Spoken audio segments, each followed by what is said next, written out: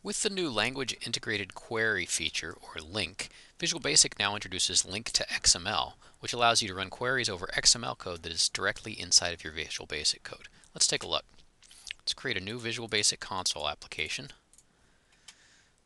There we go.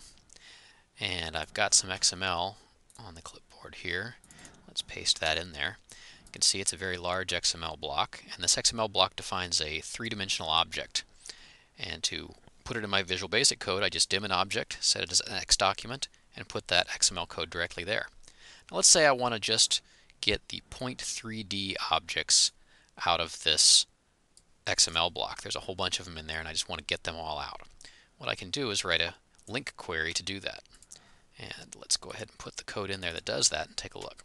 You can see that what this does is it selects all the objects, all the XML elements, in the XML document whose local name is equal to point 3D and then it prints them all out to the console. Let's go ahead and run that.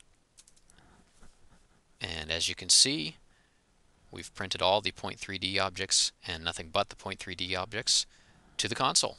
Pretty easy, huh?